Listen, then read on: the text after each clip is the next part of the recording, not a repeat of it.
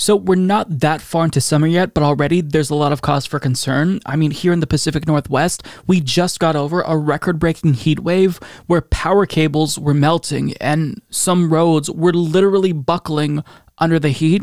And I want to share this photograph taken from my mom's backyard. So, as you can see, there's this tree and uh, the bushes. It looks like they were hit with a flamethrower.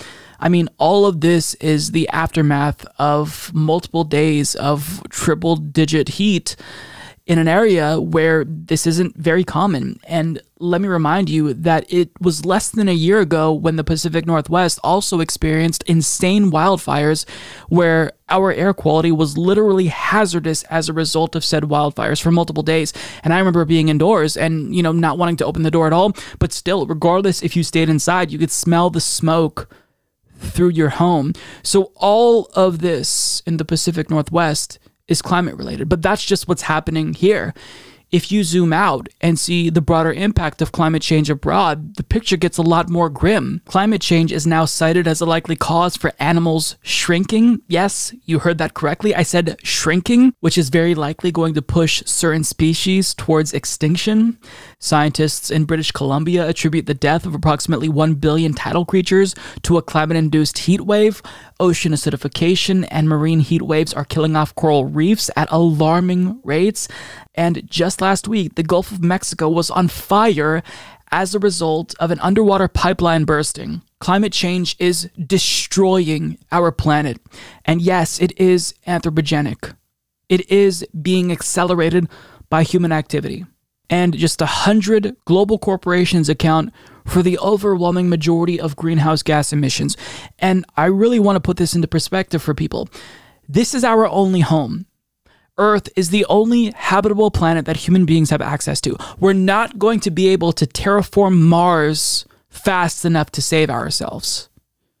We're not going to terraform Venus before we terraform Earth. We're not going to be able to find a different planet in some distant solar system. This is what we have. If we lose this planet, we lose everything.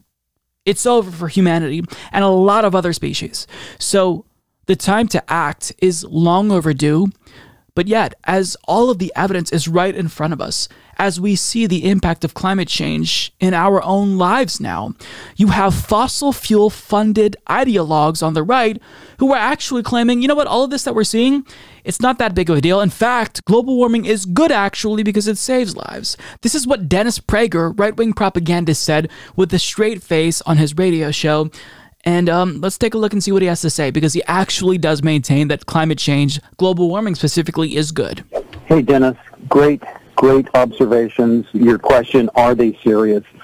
Um, about tiny houses or men in the women's room or degrowth or depopulation. I had a conversation with a guy this weekend, an atheist who believes the world is overpopulated, and I asked him that same question. Are you serious? Are you sincere? What is your level of commitment? Because if you're committed to degrowth and depopulation, you need to off yourself to show me that you're truly committed. And he laughed at me. They just want everyone else to live by these standards, and they themselves will fly in jet planes, live in large houses, and reproduce while their centralized command and control by intellectuals continues to be a failure. Well, that's Al Gore. You just described Al Gore with his and, and all, a lot of these leading environmentalists flying in private jets using far more energy than anybody else. Now, I happen not to care. If there's one one piece I'd like you to read from the year 2021, it's Bjorn Lomborg's piece that just came out in, in the LA Times, amazingly. No, no, USA Today, amazingly and how so many fewer people are dying because of climate than ever before. Because the, the great killer is cold, not heat. So global warming has actually been saving lives. But the left doesn't care about saving lives. They care about disrupting civilization because of the deep boredom in their soul that comes from the religionless lives that they were raised with. That's what it is. Give me purpose. I was raised with none. I'm sorry, but who listens to this? Dennis Prager nearly put himself to sleep with this dry, partisan drivel. And he's saying things just nonchalantly that are deeply, deeply destructive. He's getting his viewers to think, oh, well, this global warming thing I keep hearing about, actually, it's good. So understand how conservatives keep moving the goalpost. At first, they say climate change isn't real. Then they say it's real, but you know it's uh it's not man-made then they say yeah it's real and it's probably man-made but you know what it's good there's a reason why they keep moving the goalpost it's because they're wrong and what we saw there was not an argument all republicans do is they try to whataboutism everything, right? Or they try to hypocrisy burn uh, people who are actually concerned with climate change or real issues. I mean, listen to what the caller said. He said he talked to an atheist who was concerned with overpopulation, and he said that the atheist wasn't actually serious about overpopulation because he hadn't killed himself. Is this someone who we're supposed to take seriously? Dennis Prager didn't point out how idiotic that was. No, because Dennis Prager thinks that that's actually a really persuasive way to argue.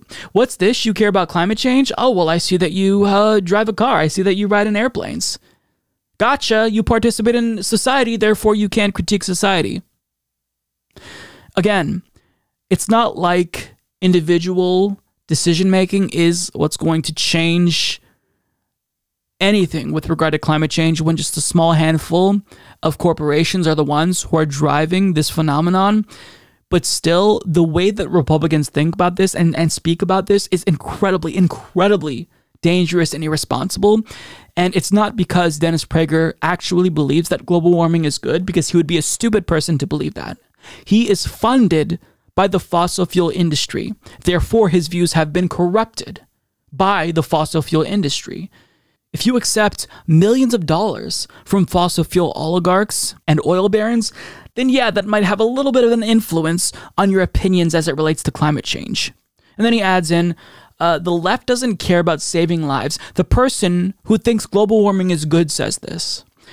The left doesn't care about saving lives. They care about disrupting society because of the deep boredom in their soul. And notice the irony here. He talks about the boredom that the left feels as he's like almost asleep as he describes how global warming is good. What a fucking idiot.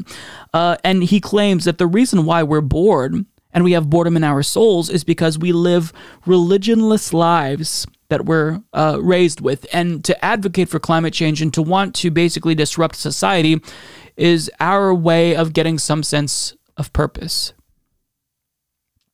Okay, well, the same is true for you, except substitute disrupting society with getting money because you're literally parroting the talking points of people who fund your program. So, does the money give you purpose? I mean, I don't know what it is. I don't need to actually address motives. To me, that's a non sequitur here. The issue is that global warming is not good, actually. Global warming is going to kill everyone. But old fucks like Dennis Prager, he's not going to be around to see the worst of what climate change has to offer. His grandchildren will, if he has any. All of the children who he's trying to indoctrinate now will, and they'll realize once it's probably too late that everything that he's saying is a lie. But this is deeply harmful. To say that this destructive thing that we're desperately fighting against to save the species and many species, not just humans, is good is so beyond the pale that nobody should take this lunatic seriously. You can tell he doesn't even take himself seriously because he almost put himself to sleep there.